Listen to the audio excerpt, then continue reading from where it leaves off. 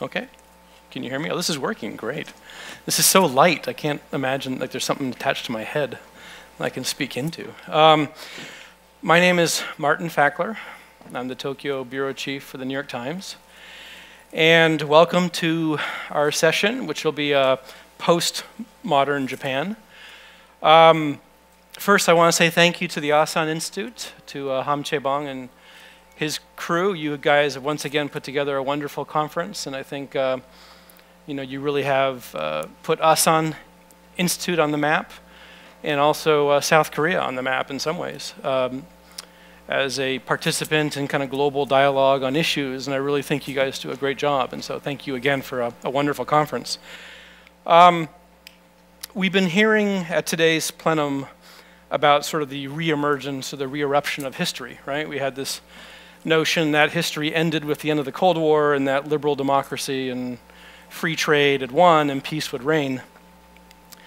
But now we're hearing about how history is still with us in the form of nationalism and rising nationalism, in the form of uh, rising disputes over views of history, and in the form of territorial disputes. Um, and we've heard about the potential for conflict that this brings. And so today's panel, this current panel, I think is an opportunity to talk about uh, one of the countries that's come up that's very central to this, which is Japan. Um, you know, after World War II, Japan reinvented itself, or perhaps was reinvented by Douglas MacArthur, into a country that had forsaken militarism, that was anti-militaristic. It was a country that became very pacifistic, uh, focused on economic development. I recently read a book about uh, Hirohito, the Showa emperor, and in it, it recounted an episode where, speaking of MacArthur, one of the meetings between Douglas MacArthur and Hirohito during the occupation of Japan in 19, um, this particular meeting took place in 1946, a year after Japan's defeat.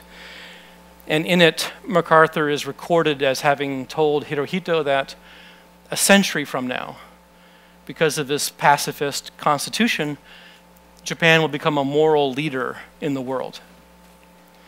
Now, here we are almost 70 years after that conversation, and we're seeing Japan talking very seriously and the Japanese leadership talking very seriously about changing that constitution.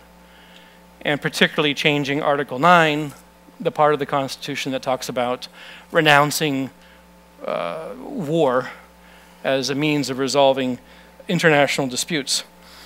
Um, and not just revising the Constitution, we hear a lot about, we hear people talking about Japan rearming, Japan remilitarizing, Japanese nationalism, et cetera, et cetera. Uh, and there is definitely a broader narrative that's taking shape of, that has taken shape of Japan shifting to the right, of Japan becoming more nationalistic. Uh, and we saw that in this morning's video. If, if, for those of you at the morning session, uh, when they were listing all these sort of, uh, you know, uh, problems of uh, history, uh, the, the reemergence of history, when they, for example, showed revisionism, was one of the problems that came up on the video. We saw images of Prime Minister Abe visiting Yasukuni Shrine. Um, and so, and, and, of course, Prime Minister Abe himself has talked of ending Japan's post-war regime, changing the constitution or the interpretation of the constitution, seeking a larger regional role for Japan, uh, and presenting more positive views of his own nation's history. So I guess the, the question I really would like to look at today is, you know, what is really changing in Japan? You know, is, it, is this, this whole sort of description of Japan as going to the right and becoming more nationalistic, is this true? What merits does it have? And what is really happening in Japan? So I will now introduce our four speakers and I will ask them to speak for five minutes each. And please forgive me in advance if I cut you off at five minutes. I do um, want to have this, I, I, I, hope this becomes a real discussion and not just a series of presentations, though the presentations are important. So let me first um, introduce our speakers really quickly. Uh, on my left is Brad Glosserman, who is the executive director of the Pacific Forum of CSIS in, Hon in Honolulu. To his left is Miyake Kunihiko, uh, who is the research director at the Canon Institute for Global Studies and is a former top diplomat at the Japanese Ministry of Foreign Affairs. Nope. Um, to his left is uh, Park Cheol-Hee, who is the director of the Institute of Japanese Studies at Seoul National University. And last but certainly not least is uh, Yamaguchi Noboru, who is the director of the International Program at the National Defense University and is a former lieutenant general in the Ground Self-Defense Forces. So without further ado, I will hand the floor over to Brad. Thank you, Martin. Uh, pleasure to be here. Um, I would have thought that essentially I figured out that history means Japan, so I'm sort of surprised this isn't an overflow crowd with people hanging from the rafters. I have no idea, or at least I didn't think I knew what postmodern Japan is. But I think that the conclusions I've come to will undermine the entire purpose of this forum and will run counter to every other speaker you'll hear, you've heard and you'll hear over the next couple of days. A couple of quick caveats. One, this is based, the conclusions I base are, are based on book research I've done, two books, one that's coming out with Scott Snyder, who's somewhere in the back of the room, coming out next year, and another one that I'm still looking for publisher. Two, no one in Japan makes the points that I'm about to make. Yoshi Soeya comes close with his middle power argument, but it's not exact. Japan is not a middle power, it's too big. Three, the current leadership in Tokyo and probably DC will completely disavow these marks. I'm sure that I will give Kuni a stroke with some of the things I'm about to say, so I apologize in advance. Um, the realities of Japan, hard realities, are it is a small, vulnerable country. It is the grayest country on earth with a population over 25% or age 65 and older, and it'll reach 40% by 2060. Population is shrinking from 127 million to reach 90 million by 2060 and its total debt is anywhere between 220, 280% of GDP. It is a country that by formal physical measures is in trouble. And I would argue, secondly, more importantly, so too is it in terms of its attitude. My research over the last couple of years and my experience in Japan over two decades has led me to believe that the Japanese people today want, the overwhelming majority of Japanese would like a small country. For them, they wish to go beyond history, and the lessons that they've learned from history are completely counter, I would argue, to that of most of the assumptions that undergird this conference. You know, and this is fairly, I think, remarkable, given Japan's modern history, the compelling national success, the compelling national uh, myth of nation building, the homogenous country. And I think it is very much, the conclusions I reach are an outgrowth of two decades of confusion of a lost national narrative. If you were going to come up with a title for this speech, I think it would have been Model to Muddle and Back Again to Model, um, if anyone's thinking of a, of a movie version. Um, the takeaway from so much of this, and I, in five minutes I can do very little, so I obviously depend on, on, on questions to tease this out, is that there is an aversion to competition in Japan. In competition on every level, there is an aversion to great power politics. There is a weariness, a wariness, a skepticism that comes with being a great power. Almost none of the Japanese I speak to want to be a great power and want to play great power political games. And much of that is an outgrowth of the experience of World War II and the imperial era. There is a reluctance as well to compete in economics. And there's a whole lot of reasons for this, but essentially, I think what you have is a happiness paradox where the Japanese, particularly the young people in Japan, look at their country and look at their parents and look at older generations and realize that they have worked and built this extraordinary country are extremely unhappy. They do not see a great future ahead of themselves. And so they see the future that they wish to adopt, and the one that they would, would prefer, is one that is a smaller, more comfortable, less competitive Japan. Now, this, I think, combines as well with a Shinto narrative, with an environmental perspective, you know, a, a, a, a, richness of, or a sense of identification, which if you look at the polls that talk about who the Japanese are and, and what makes them who they are, it is a sense of environmental uh, uh, um, connection.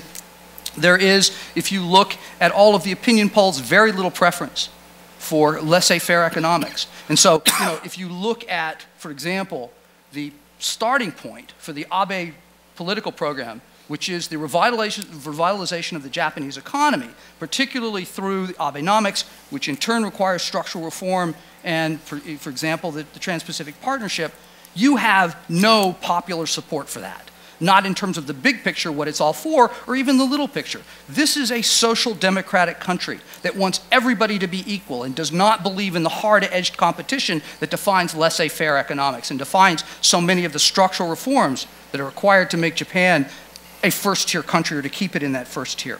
I would argue that some of this is what I call a betrayal by modernity. It is a, a, a result, I said, of this happiness paradox, the myth of a safe society, the environmental costs that have come from, uh, from, from environmental um, uh, develop, or economic development, and all of the failures, the, the, systemic failures, political, corporate, bureaucratic, were driven home by the, by the March 11th crisis.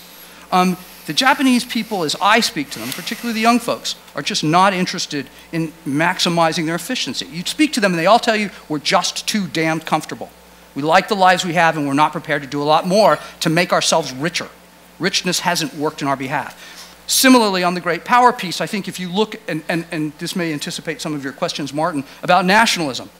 Nationalism in Japan is non existent. For all of the studies of uniqueness, the Japanese will tell you, a fascinating poll by the Asahi Shimbun last December showed that if the Japanese were in, invaded by a foreign country, 15% of people under the age of 20 would, be, would, would say that they would fight in defense of their nation. The highest percentage was over 70 year olds, and that was only 35% of them. If you want to talk about nationalism, even the Japanese that identify themselves as nationalist, most of them say nationalism for them is an identification with the land, with the environment. 10% of them say that nationalism is rooting for a sports team. It is certainly not this love of the emperor. It is not a defense of national uh, uh, pride, etc., that comes with uh, the traditional attributes and the traditional formulations of nationalism. Where this all takes you, I think, is essentially, and, and I think we're almost out of time, yeah. right? Yeah. What it takes you to is a small Japan economy, a country that I think is prepared to get smaller, that is prepared to be anti consumerist, anti consumption, that is prepared, on the other hand, by virtue as well as being lessons of history, to be more deeply integrated into Asia. It is prepared to take the Datsu-A, you know, the question of going out of Asia back in the Meiji era, and to go back in as part of the alliance, but as part of a larger um, organic whole, if you will, as Japan is part of, the, uh, part of the region in a way that allows it to export its good behavior, to be an international leader. This is the model piece again, but in ways that are the advan- that, that exploit and exhibit what is Japan can do best, which is be green, be efficient, learn to live with less, leave a small footprint, be a good small country. There's a lot more to it, but there's no more time. Great. Thank you very much, Brad.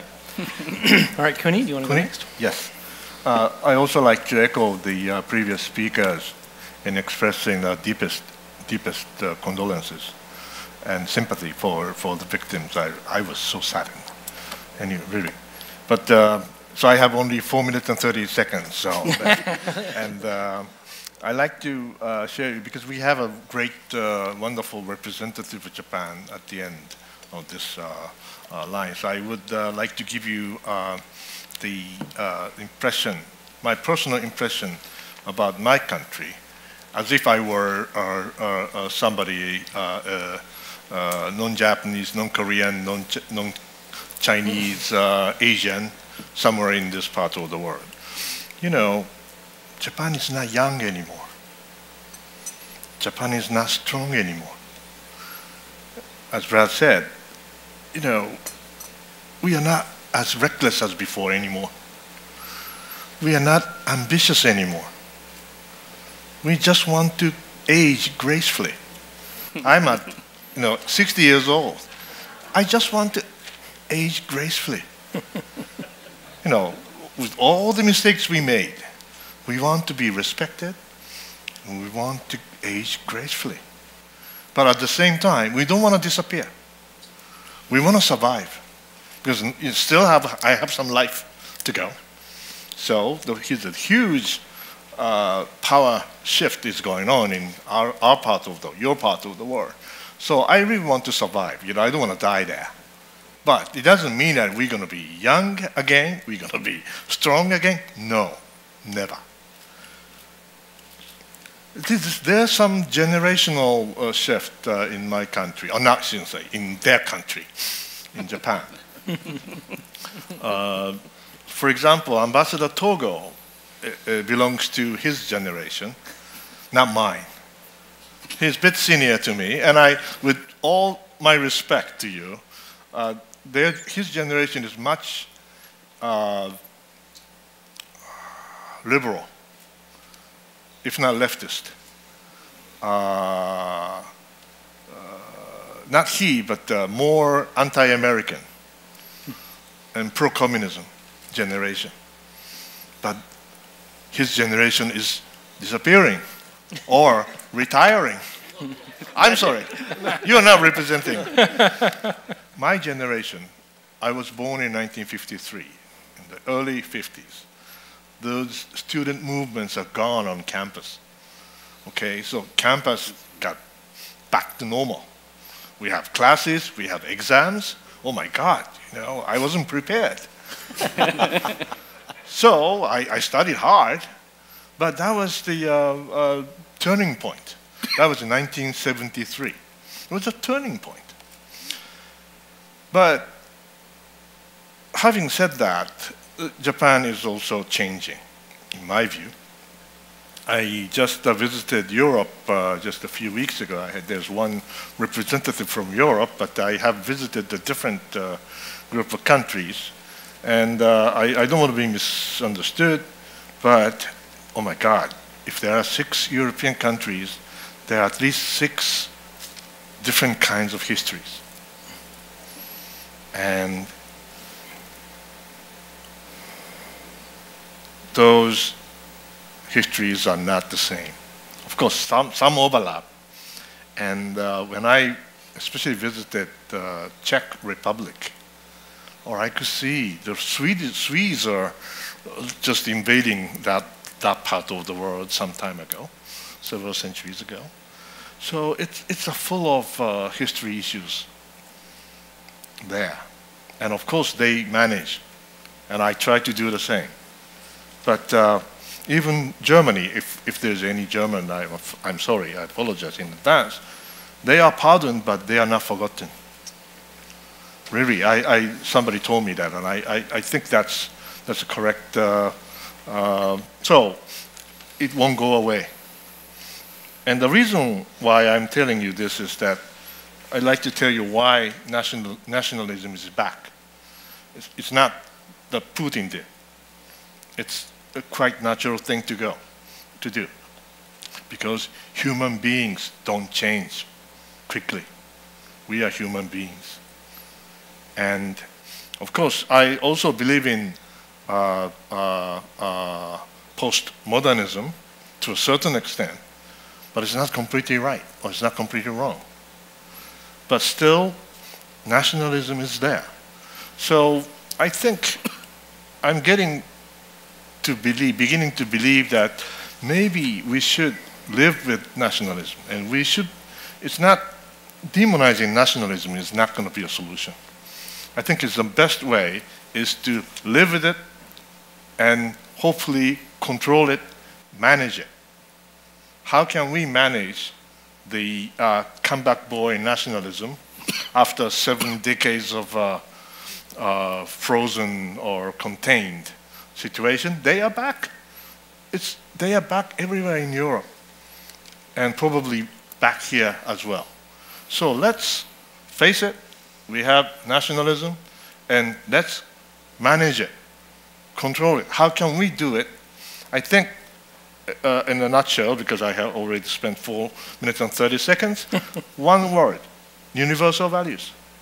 Let's keep universal values, including democracy, human rights, rule of law, uh, freedom, and uh, humanitarianism, or right to uh, uh, self-determination, I would add that,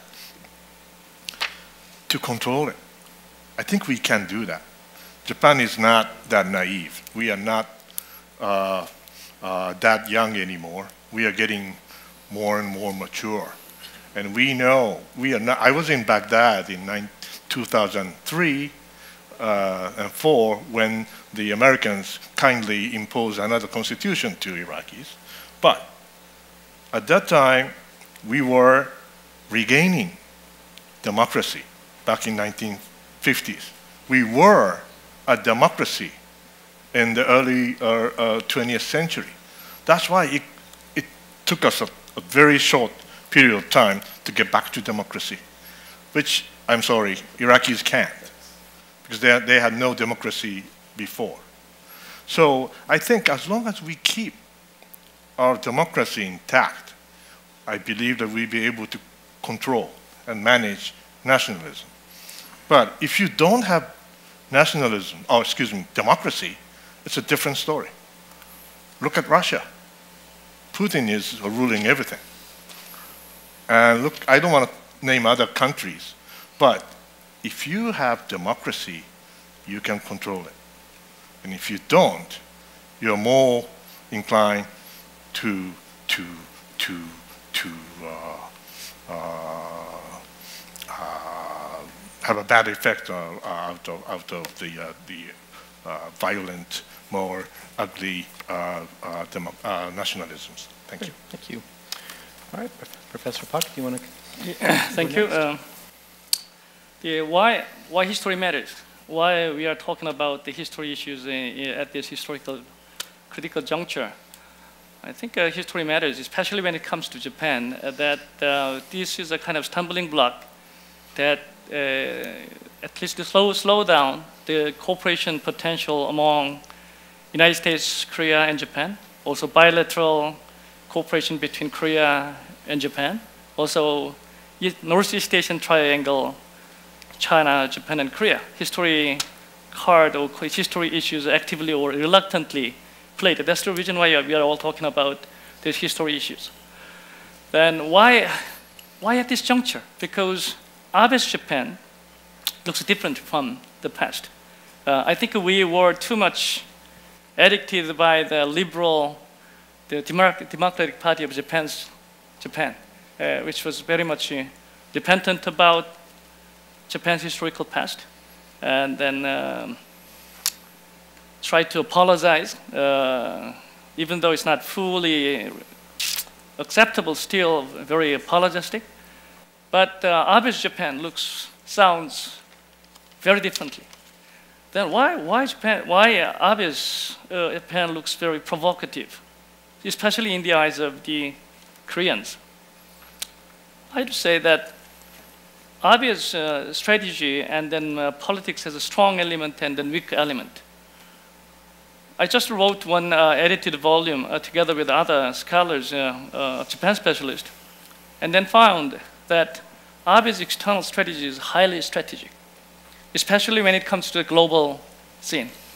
Uh, trying to promote uh, democracy and market economy, rule of law, and human rights issues and the on the global scene.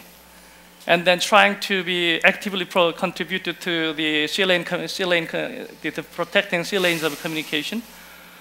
Another, uh, the global commons also, Abe is very strong in promoting the national agenda within Japan that try to encourage uh, the national pride and confidence uh, among the Japanese people, try to boost up the, its economy. But this, the, the second part is sometimes negatively twisted to provoke the, its, its, immediate neighbors. What is, what is uh, critically missing in, in Abe's strategy is that how to reshape this East Asian regional architecture. I, I don't think he has a clear regional strategy. Even though he, he says it, I don't find it. Because uh, he has, uh, what he has in mind is how to balance the rising China. He's, uh, I think he's successfully doing it. But how to engage its closest neighbors like uh, South Korea and also growing China, I don't think he has a clear picture about how to do, it, do with it. That's the reason why he's embarrassed. And then that is much more embarrassed. Uh, we are much more embarrassed by this, the absence uh, of a, his regional strategy. So I, I, wanted to find his a kind of positive element in his strategy, but I still, I still couldn't find it. But, uh, but I'm not that much pessimistic about uh, current Japan, but because there is a kind of a mismatch. We, we titled this session as a post, in parentheses, modern Japan. I would say that current Japan is like a kind of a new Mediterranean, Mediterranean age. Tanaka Akihiko applied this concept to whole East Asia, the, uh, the coexistence of modern, pre-modern, uh, post-modern countries. I think uh, within Japan, there is a post-modern, modern, pre-modern elements are all mixed at this moment. I think uh, Abe's basic uh, defense and security strategy is quite modern in a sense that uh, Japan, Japan, obviously Japan wants to cope with the rising China with a very proactive defense strategy and trying to raise its defense capability for internal balancing. Also try to strengthen uh, the US-Japan alliance for external, external balancing.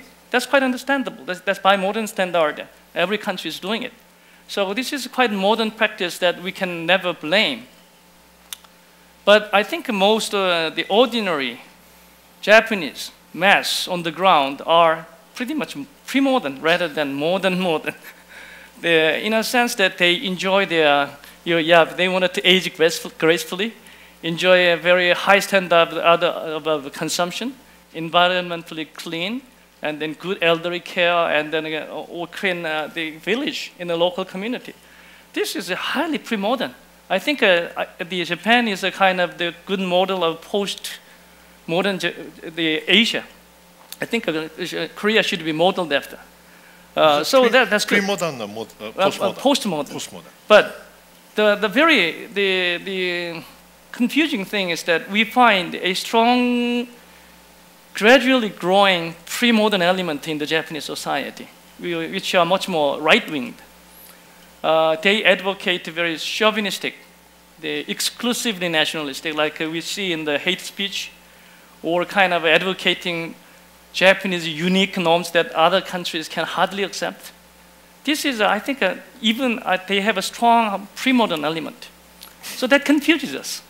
Right? If it is a kind of a post-modern only or modern only, yes, possibly you can cope with it.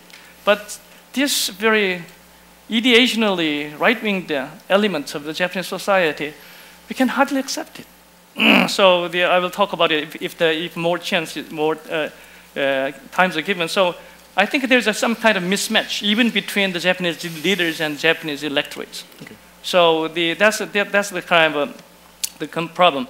Finally, I, I, just wanted to add one more point that uh, the, regardless of Japan or Korea or China, what we are all missing or uh, we, what is losing is that we are not talking about imagine the future community.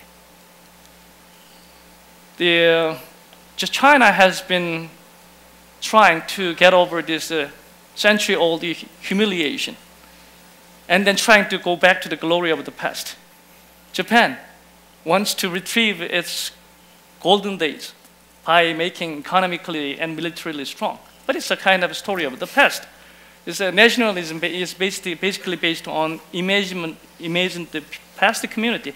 So that's the reason why all this rhetoric goes to nationalism and talking about the past. But all these three countries, unlike the European Union, we're not talking about the visions and future and shared communities of this region of the future. So I think that's the critical missing element in this region that we have to develop in the future. I'll stop there. Great, thank you. Mr. Yamaguchi? Okay, thank you very much. And uh, uh before getting started, I, would like to, to echo uh, Kuni here on my condolence uh, to the victims. And also I'd like to, to share my admiration uh, for the rescuers as well as the volunteers uh, ordinary people volunteer to help the family members waiting for rescue operation. I, I have high admiration of that. And actually, I'm the most militaristic. Thank you, General. Right. But you know, uh, my, I have a theory that the professionals uh, tend to be less extreme uh, than the uh, others. So I, I try to be uh, really dry. And as to modernity and postmodernity, uh, you know, my conclusion is very simple. And Japan was really good at getting to, to modernity, getting modernity. And it was based on the voluntary base. Uh, in the, during the Meiji Restoration and after, afterwards, uh, we, Japan, Japanese were really, really good at, uh, good at becoming a modern, modern community. But the, in terms of uh, postmodernity or departure from, uh, departure from modernity, I have doubt. Uh, even, even, uh, even though Japan may be a, a, a postmodern uh, society, it's not necessarily a voluntary basis. It's not based on the volunt uh, volunteer. Let me explain some, some of this. and the modernity is according to uh, uh, Masao Maruyama, uh, one of the uh, most liberal uh, po uh, political scientists in Japan, according to Maruyama-san, modernity is the basis for nationalism, political realism, and democracy. um, in, this, in, in, in these terms, Japan was really good uh, at the, uh, um, uh, doing successful uh, uh, in achieving uh, such basis uh, after, during and after the Meiji Restoration. I, I have full admiration to, to Yuki, Yukichi Fukuzawa, uh, who is the founder of Keio University, uh, from uh, from from which we I see some of the some of the the graduates here, and he he he he wrote a book, Gakumon no Susume, Encourage of Learning. that was a textbook for enlightenment um, uh, a- a- activity in Japan after um, 18, 1870s. Um, Japanese were very much uh, quickly enlightened uh, by, uh, by, that movement. In addition, uh, Japanese government introduced uh, conscript army and the, uh, um, the uh, compulsory education system. Um, by uh, that, those systems worked well to, to nationalize uh, the people as opposed to, as opposed to uh, the loyalty to the old, old clans feudal system. So as, uh, as a Japanese, uh, Japanese, uh, before 1868, there is no such a thing as a Japanese. But after 18, 1868, uh, Jap- uh, Japanese uh, quickly became uh, uh, Jap- uh, Japanese, uh, Japanese national. In this respect, uh, state Shintoism um, was used for promoting nationalism and may have caused an extreme belief uh, of an uh, emperor-centered Japan as a divine country. That may, uh, that may be uh, having the, the effect uh, uh, to this date. On the other hand, departure from departure from modernity, perhaps particularly departure from um, political realism and departure from overcoming ideo- ideological uh, confrontation and the, uh, achieving real liberal democracy are not necessarily uh, made by made from inside Japan, but rather made by the end of the Second World War. It was a kind of accidental. That that have uh, th- that fact has caused uh, two two tendency. Uh, one is because it was accidentally given, so um, Japanese may not uh, uh, cherish uh, the sort of value of postmodernity. It was given. It's it's ours. That so um, Japanese tend tend tend to not not respect or cherish that value. And other other effect is Japanese without reflection within ourselves uh, we uh, became uh, came into the modernity without re- reflection of modern uh, modern Japan uh, we, we we became the uh, post-modernity um, by accident so I, um, um, Japan, uh, Japanese may have lacked uh, the process uh, to, to look back, uh, look back the uh, mistakes by uh, modern, uh, modern state, uh, uh, as a Japan as a modern state. So uh, those may uh, have been the reasons why uh, Japanese are not uh, necessarily good at uh, looking, uh, looking back to history. And also I have, I have to agree with Ambassador Togo saying that education of Japan is a, problem. In my personal case, in, up until college, I have, um, you know, uh, in, in the uh, high school age, I uh, learned a lot about Japanese history, but that is up to the Meiji Restoration. Afterwards, um, you know, I, I was busy preparing for uh, uh, entrance examination in university, and when I learned uh, history in the last hundred years, it's a four years college college life in in the National Defense Academy.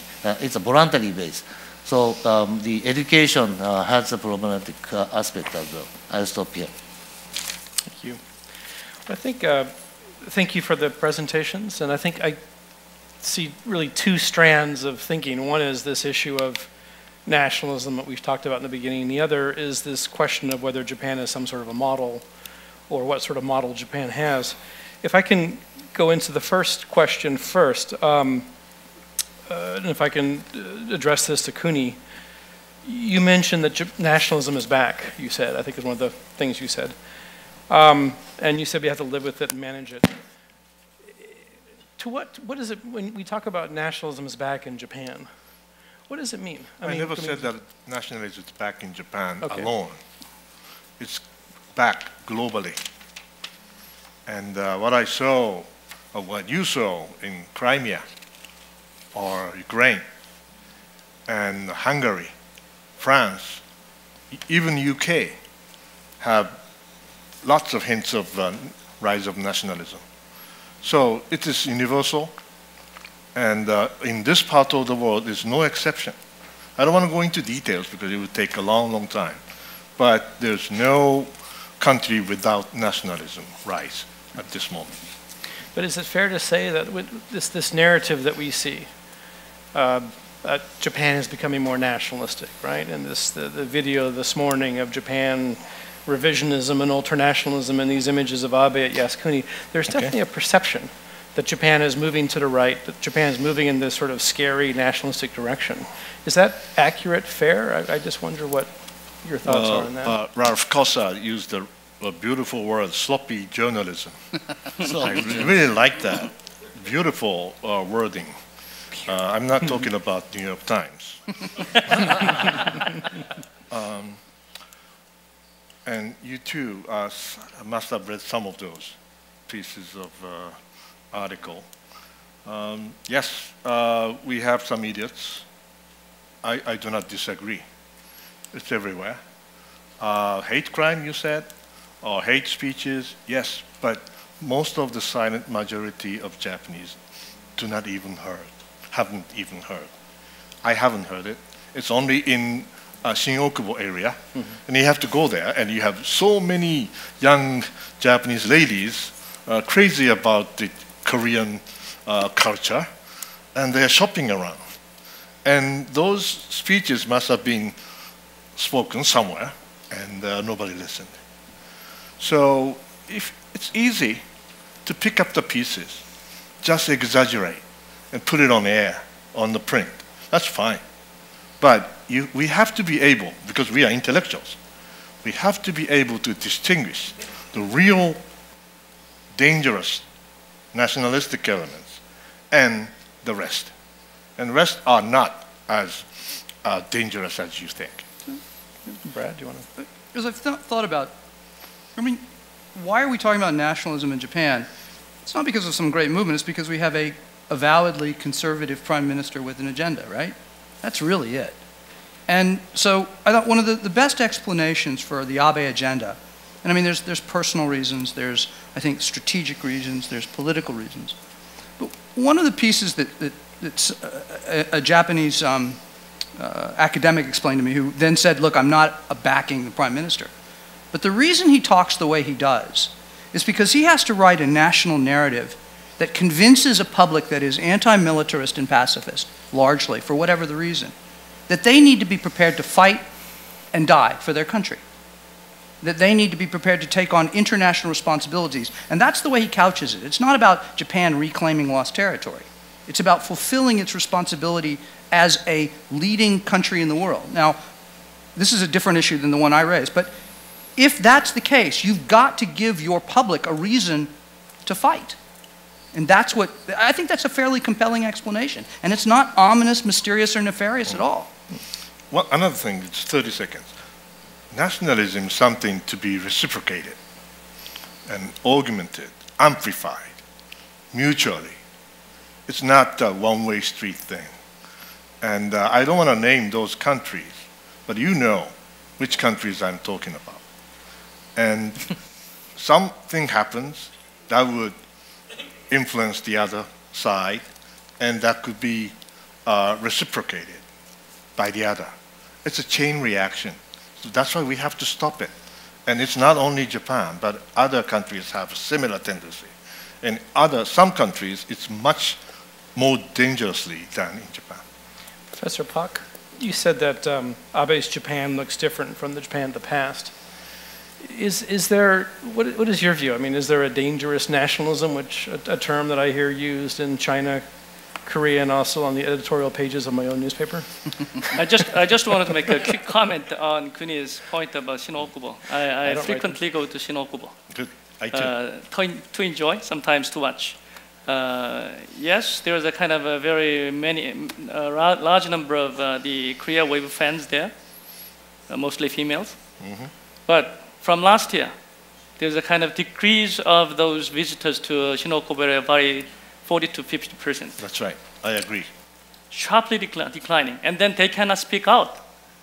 They cannot say that they love Korean culture because they, they are, they are right wings who are vociferously mm-hmm, mm-hmm. raising against them.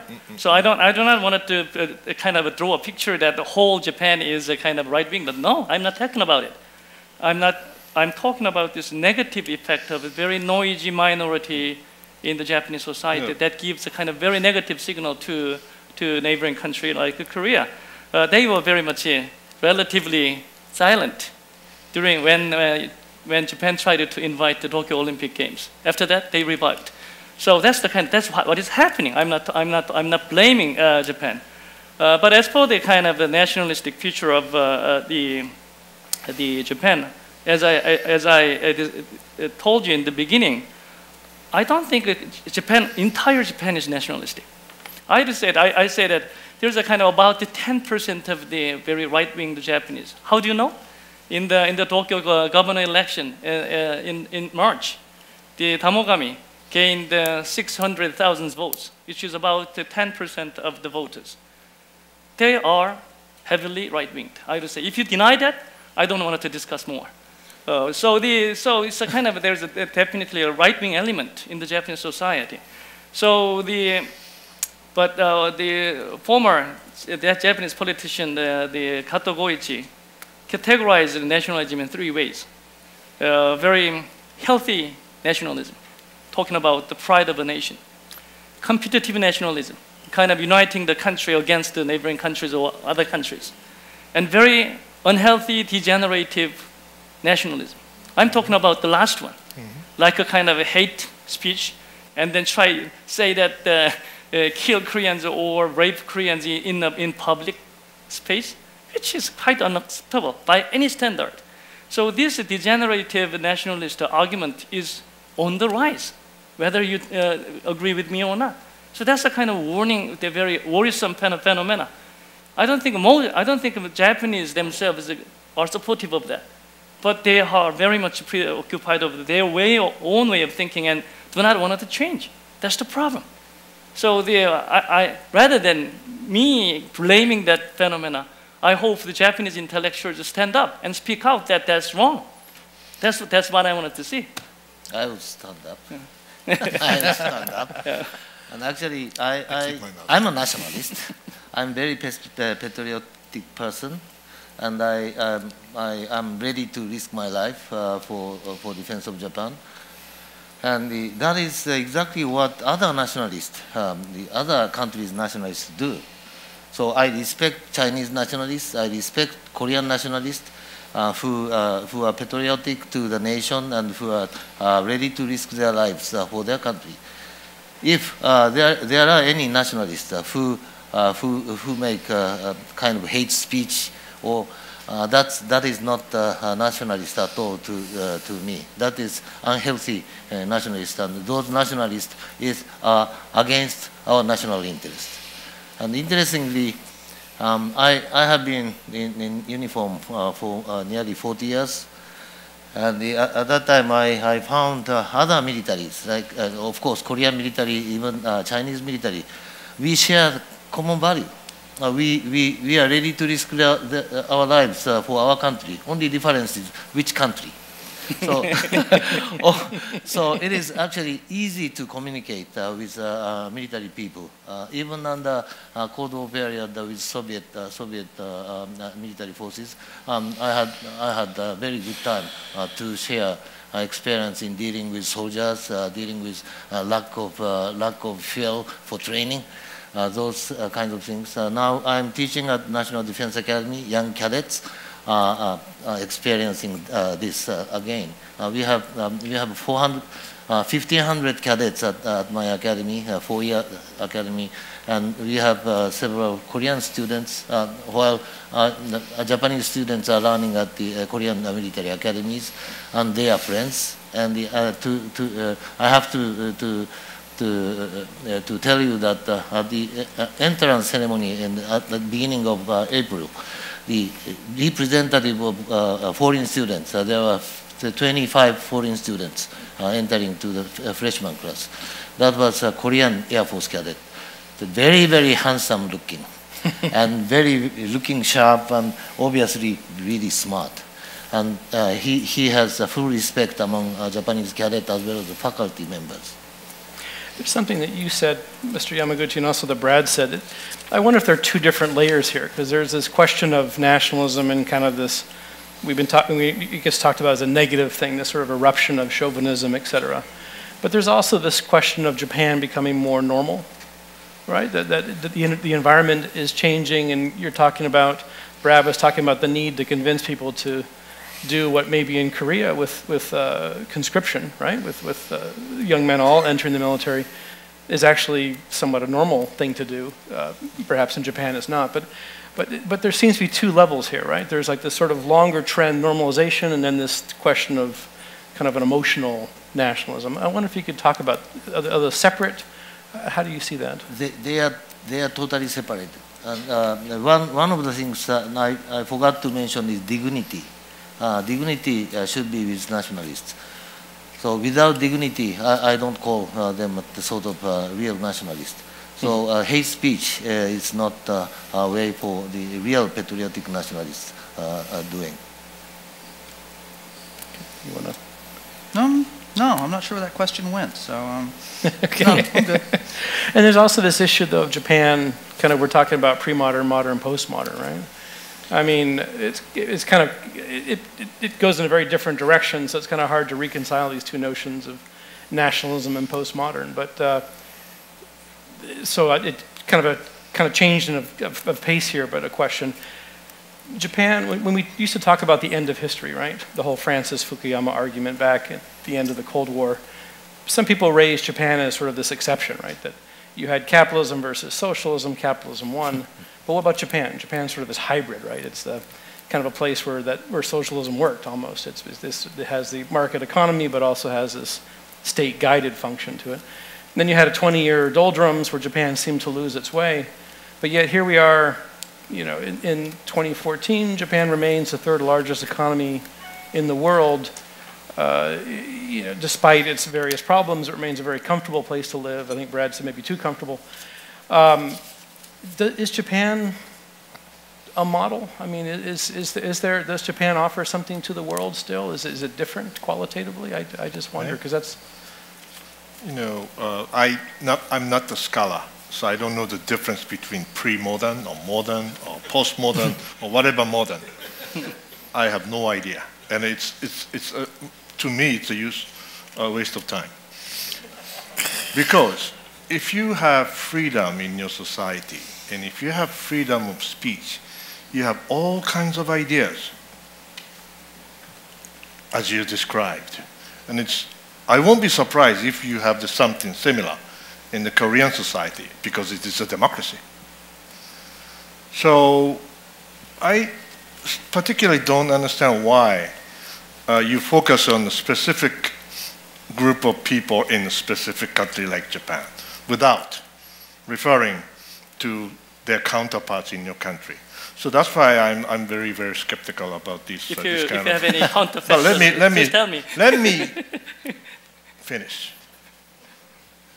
Um, I think the uh, uh, nationalism, uh, when it comes to uh, my country, as I tried to explain earlier, uh, you know, my the generation above me, one generation senior to me, uh, have much more uh, uh, left-wing, uh, Marxist, uh, sort of a pro-communist tendencies. There are always exceptions, of course. But in my generation, we have much, much less. We are most apolitical. It's a political apathy sort of a generation. So for me, communism is not Uh, uh, an attraction. Uh, but um, having looked back on the 70 years of the Japanese history since 1945, I would say that it has been heavily, heavily tilted to the left And uh, my understanding is that we are getting back to the center. I probably represent center right, but I think the silent majority of the Japanese are getting back to the center. But if you are located on the left, you see us tilting to the right. But it doesn't mean that we are going to far right. We are getting back to the center, and we know the limit, and we know how it works because we are a democracy. Um, If I, well, Can I? you want to, go ahead, let Park go ahead. Let's- let's- Yeah. uh, Mr. Bond Yeah, first. uh, the, I just wanted to link uh, the notion of uh, dignity with uh, what's happening. I think I, I, you're right. Dignity is the very essential element of nationalism. I, I had a very interesting uh, interview this January with the so-called the leader of uh, new right wing. But he is the leader of uh, anti-hate speech, you know, Shino Okubo. Even though I was surprised, you are right wing, right? But you're against the hate speech. What happened? No, they don't have dig- dignity. They are not Japanese. they are simply a exclusionist, exclu- exclusionist and then the kind of chauvinist. So they don't call them right wing. I am so ashamed if you call them right wing. So that's the kind of the very good symptom uh, Right that I that I find. But the problem here is that that anti-hate speech movement took place only one year after those uh, events were proliferating. One year. It took one year to, to see that right-wing anti-hate speech people. So I wanted to see it a little bit earlier and more wide. So that's the kind of simple point I wanted to make.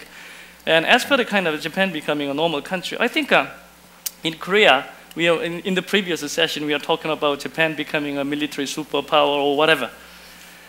I think there is a kind of illusion in the Korean society that we always try to look at Japan in a negative way and then, and then conglomerate everything and then just the kind of all things related to Japan is bad. I don't agree to that idea. But the what, if I just look at Abe's current posture, he has two elements. Simply speaking, defense revisionism and history revisionism. I can understand that Abe's defense revisionism in the context of rising China and assertive Chinese maritime strategy. But I cannot go with the history revisionism he's advocating. I don't know whether the United States can go with him uh, as far as the history issue is concerned, especially giving a Japanese people a pride and confidence. That's good. I, I, I, I, I, am, I am for that idea. But denying the historical facts, distorting, distorting historical facts, even glorifying the historical facts should never be accepted. Korean, Japanese, American, it doesn't matter. Uh, we have to be clear about that signal. If not, we are talking about all different, all different issues. Brad. I agree. Two points. First, on, on this, on, on democracy and, and uh, nationalism. And I think Kuni's absolutely right. I mean, as long as Japan is a democracy, no one should lose any sleep. I mean, uh, the, as my research suggested, I think everyone agrees, the overwhelming majority of Japanese people are peaceful. I mean, the problem, of course, is, is that they are abnormal. You know, you're trying to create a normal Japan, which is a probably more patriotic, nationalist country that would come closer to the norm, literally, as we consider it. The Uyoku have been with us, you know, for how many years? Crazy right-wing nuts in their sound trucks. This nationalism is not new. And I think, you know, the Tamogami 10% turnout in the Tokyo governor's election had, what, 27% turnout overall? So I think we overestimate the size of that particular group. So uh, as long as we believe that Japan is in fact a functioning democracy, that the, over, that the will of the people prevails, no one should lose any sleep. And in fact, I think, you know, we'll find, very likely, I mean, which takes me to the second point about Japan as a model. Abenomics is the key to everything. If this uh, economics program fails, Abe, Abe is out in five months. I mean, the, the knives are out. There are people in his party that want him dead for all sorts of reasons, some of which are perfectly conservative social uh, factors um, that tie to the small Japan idea that I like to get to. But if he fails on that, then he's gone and this whole nationalism discussion goes away, I, I have a feeling. You swing right back to the larger silent majority, the traditional LDP, the party as it's always existed. As Japan is a model, you know, Paul Krugman was saying, you know, that he wanted to reconsider the Japanese experience, that two decades, the Japanese have weathered two decades of stagnation like no other nation. And what an extraordinary model that is. You look at Europe's future, we look at the United States potentially with bumpy growth. Could we have weathered it as well as the Japanese political system has? And no. And of course, the reason for that is because the Japanese population is shrinking. And as a result, that means you can keep the same standard of living even if your economy doesn't grow. But the fact is, I think the ways that the Japanese address these issues, and again, this is a longer answer that takes even, gets even longer if I try to take that up, actually takes the Japanese into a really powerful model for a postmodern society in so many different ways. In ways that the Japanese can make very powerful contributions, that they can do all the things that we want them to do, do the things that they want to do, make the world better, you know, rah, rah, rah, and uh, do it in ways that I think work for Japan, the region. And by the way, to go to, to Togo's point, you know, if you go to Fukuoka, if you go to the western coast of Japan, they have a vision of Asia. Because, you know, you talk to businessmen in Fukuoka and they tell you we're closer to Busan, Seoul, Shanghai than we are to Tokyo. Our future is in Asia.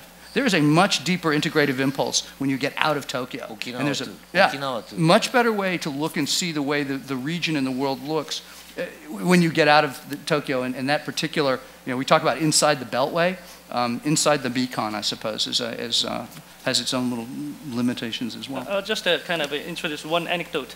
Uh, the, we are going to have a Korea-Japan forum uh, in uh, early August in Fukuoka. And then uh, the, the, we had just a straight steering committee because I'm a member. And then I was surprised to find that there is a kind of, uh, at the welcoming reception, 1,000 businessmen in Fukuoka will turn up. What, 1,000? So this is kind of, so the, the linkage between the kind of local Busan, local Fukuoka is immense, very deeply going, which is a very good phenomenon that we have to encourage.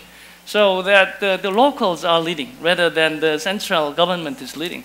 I, I always advise my Japanese politician friend, you should be a follower rather than a leader. Leaders are screwing up. The, follow, the nation, people are leading the phenomena.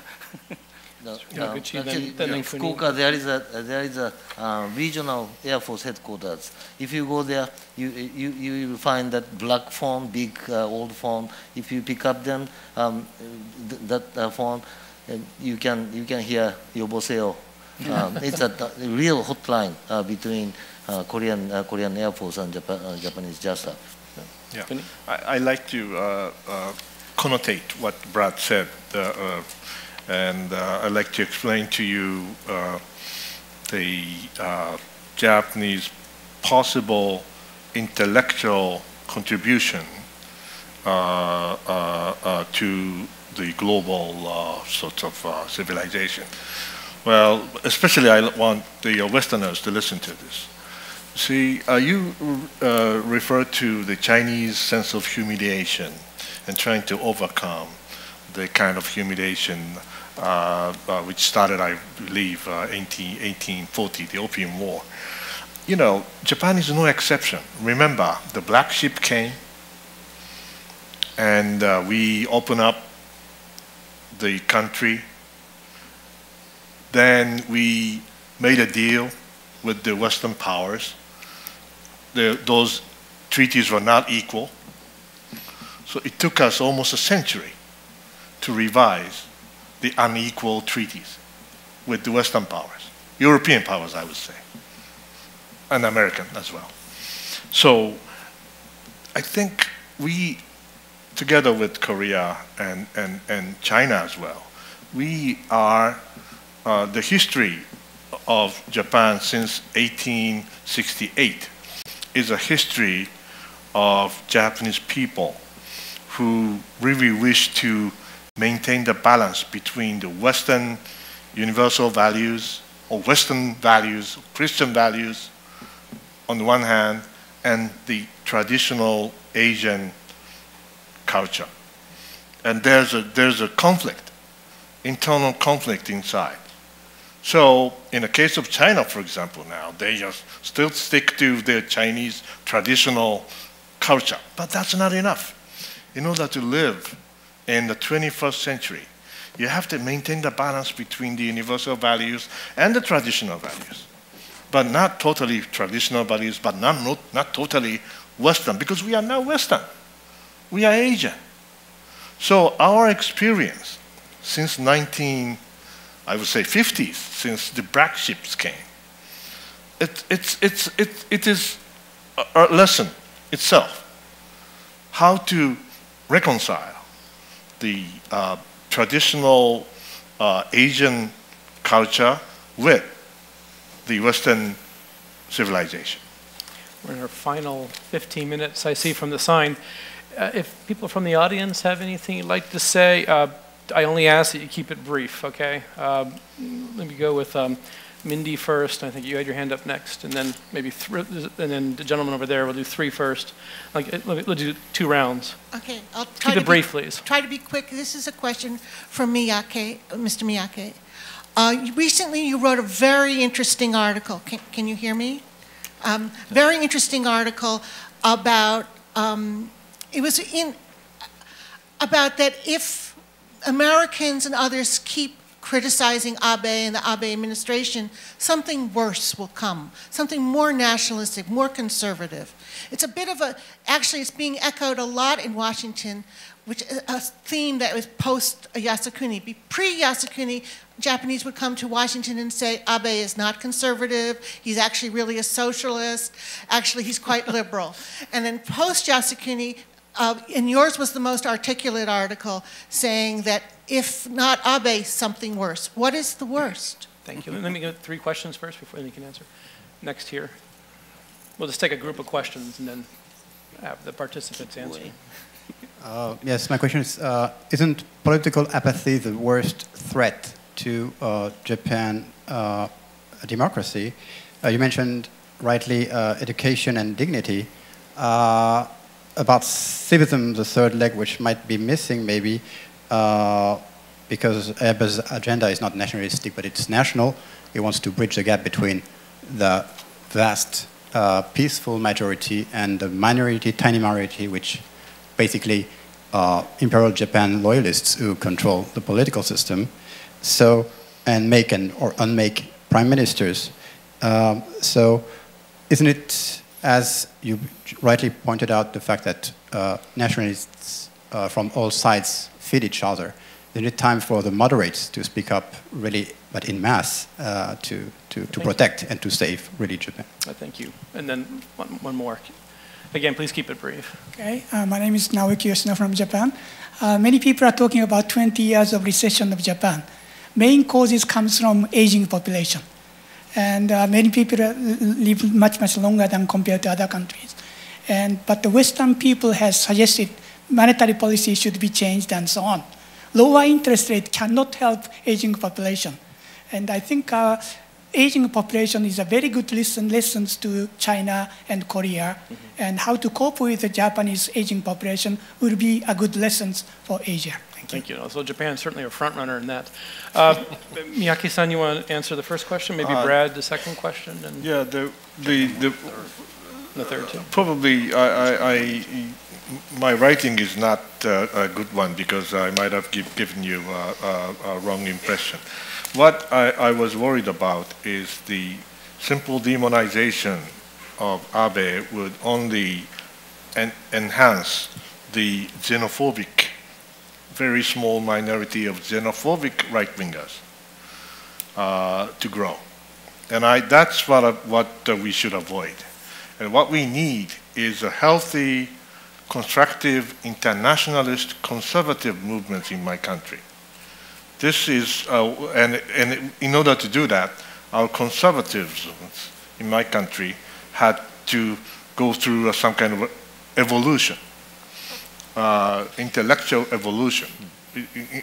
Uh, uh, uh, that chance would be missed if uh, the simple uh, demonization continues. Brad, you want to try number two and three? Uh, on the apathy question, you're right. I mean, you know, the question for everyone in the room is, are, do we trust Japanese democracy? Do you think the majority will will prevail? Because the majority will in Japan is benign. Um, and I think Kuni is absolutely right. And I think the task really for Japan's conservatives is to draw the lines. They have to, not us, not, not Cheol-Hee, not anybody else has to draw the line as to what is acceptable and unacceptable speech. I mean, that's frankly in the United States, it's the same problem. Conservatives chase votes and are, are afraid to, and in other countries, afraid to antagonize their base. So it's up to us. I would just take issue. I don't think Japan's only problem is an aging population. I think it's a factor productivity issues. Um, it has to do with a shrinking population as well, which is part of aging. It has to do with uh, an inability to mobilize women. Um, but you're absolutely right, and this is part of the postmodern agenda. That's what makes Japan a model. And, and its contribution is precisely its ability to deal with questions of aging populations, different demographic profile, profiles, socialization, urbanization, blah, blah, blah, blah. All those are ways that Japan can be a great international citizen, solve postmodern problems by setting an example and using its considerable resources uh, to both address it generally and specifically. This is how we do it. Let's work with you to, uh, to, to, help that. And, and by the way, I mean, you know, the answer also, both in terms of the conservatives and in these drawing Japan and encouraging Japan's good behavior is don't paint with a broad brush. Be nuanced respond to the people that you think are responsible, encourage them, and marginalize the irresponsible ones. Okay, we're down to, I think, seven more minutes, maybe one more round of questions from the audience. I think you had a question, right? Um, number two, number three, okay. So, in the back. Yeah, yeah, I think she had, was behind Mindy, somebody, she, somebody, yeah, there she is. Uh, uh, my name is Myung-Shin Kim. I have been working at, uh, uh, as a visiting professor abroad for 10 years from America and the Netherlands, UK, and Slovakia. And the last moment, I was in the Middle Eastern to explore those areas, to know America, to know Europe more, and to know our country, our country's unification in the future. So at this moment, we have to think the solution. Uh, uh, uh, how can we get the prosperity and cooperation together to live together, coexist together in this northern East Asia. So China, Korea, Japan should find the solution. At this mo moment, we should not have a political or historical or moral uh, uh, stance. We should find out the morality and the, our, uh, our responsibility of our history. And then we have to start from that stance. So at this moment, I, uh, I, I was very sad actually. Uh, do, you have, do, you have, a question? Because we really don't have yes, time. I want to ask about the solution as a scholar, as a journalist, as a professional about this area, this regional studies. Everybody was invited in this uh, plenum because you are a scholar, you are professional. So I want to listen to your solution, your way to find out the solution in Eastern Asia. We our country should be reunified as soon as possible. Okay. We need uh, that so kind you, of some. But you're asking for solutions to yes, these a solution and the history, okay. history text and also these okay, territorial yeah. issues. We got yes, it. Thank, thank you. you. very much. You. I want to give the other people a chance to talk too. So we got a couple here. Right. I'm sorry. Where's the microphone? So the first question is uh, solutions, right? Fix this problem. Yeah. Okay. Second. All right, we're down to five minutes here. Well, my name is Choi Byung-il. I have a question to Kuni Miyake. Uh, Kuni was a actually Japanese trade negotiator. I was a Korean trade negotiator at WTO Basic Telecom, 1995, 1996. Oh, so we're sitting next to each other. So welcome back. That's right. That's right. Well, uh, when I was listening to Kuni's interpreted history, I think you know I, I was really afraid I was misheard, because he representing, he was interpreting history from 1850 in Japan after you know the advent of a black ships, the Kurofune, he was uh, interpreting that is uh, Western value versus Asian value. But Japan was, you know, really become modernized because Japan was abandoning Asian value. That's the way I interpret. Japanese national strategy was escape from Asia and jumping into Western world. So, you know, that's first question. Second question is, you kind of categorize there was Western value versus Asian value. Is it the way of, you know, correct interpreting what has happened in those years? Indeed, Asia has some common value. So that's my question to you. Okay, thank you. May I have one more question in the front here? Uh, I'm afraid this is another question from another WTO member, negotiator, so I'm sorry about that. But actually... Uh, it's okay. you have lots of former negotiators. Anyway, um, uh, there's been a lot of talk about the, um, the ultra-nationalist minority and the, whether the nationalist narrative actually fits within the postmodern uh, modernity. And I actually would like to turn the question the other way around, and which is the question about why there isn't a globalist narrative in not only Japan, but also in Korea and other Asian societies beyond commerce and shopping. Okay, thank you. Does someone want to try the first question? What can be done before I let uh, Kuni answer the second question? I, I answer the second question. Let me, let me have, let me, Uh, okay, do the that? second one first. Yeah, you know, uh, in a nutshell, in the Meiji era, the intellectuals in Japan were divided into two schools of thoughts. One is uh, we are Asians, Asia is one, and we belong to Asia. That's one school of thought. The second school of thought says, okay, let's leave Asia and enter the West. This is a second school. And we have not answered to that question, fundamental question, since 1868. We're still wondering, do we belong to Asia? Do we belong to the West? Even the British ask whether they belong to Europe or not. And I think something similar to that. Thank you. Anybody want to try the uh, solution question? Uh, solution, uh, there is no g- the easy solution, but uh, I think uh, many people are talking about the kind of uh, bottom-up cooperation, functional cooperation first, to resolve these uh, the controversies. I think the other way around. Political leaders should uh, engage in a dialogue and then try to make a breakthrough. If not, nobody will move. Uh, in that sense, I think China should be much more prudent, Japan should be much more modest, Korea should be much more flexible. Uh, so the, the uh, and uh, one more one more comment I wanted to add is that uh, the, we are talking about all this nationalism. I think I think it's, it's related to the Gil's point in the previous session. Japan should be much more proud of the post-war Japan rather than talking about pre-war Japan. Going back to the, the, the retrieving the glory of the past. Japan's glory was in the post-war era, peaceful, democratic, prosperous, stable, and model of the many countries. But if you're talking about going back to the, anci- the kind of uh, modern history, I don't think you can be that, that much proud of. Okay, Our we're at the neighbors very end take us back You to have the to- uh, 20 seconds to each of you, then we can stop. Uh, actually, you know, hi- history problem. Uh, how many times uh, should Japan should Japan apologize? Um, to me, it's a wrong question. Uh, history is to remember. Uh, history cannot be forgot, forgotten by anybody, and particularly for, for suffering people longer. Um, if you uh, look at the, inside Japan, Okinawans, um, Okinawans remember history more uh, longer than uh, Tokyo people. So uh, things, uh, important thing is we have to uh, keep remembering the history, and in order to remember the history, we have to learn before. Thank you. Brad, you want to sum us up here in 20 seconds? Um, no. Uh, what I do want to do is follow up on Kuni. I think the younger younger generation of Japanese have reconciled West and Asia.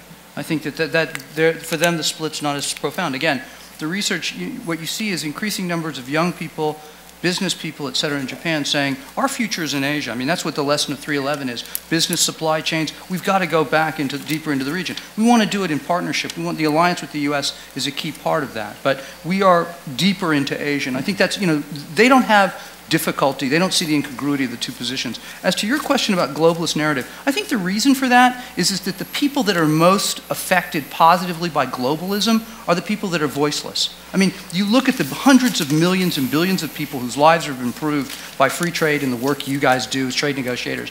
And it's great. Unfortunately, the costs are typically also borne by people like us that have the microphones, and we're not talking about that. So it's just a fairly unfair kind of situation. But that doesn't mean that the narrative isn't there to be told by somebody, like a journalist, maybe. All right, well, thank you very much. And I wonder if we can give our appreciation to the four panelists had a very difficult topic.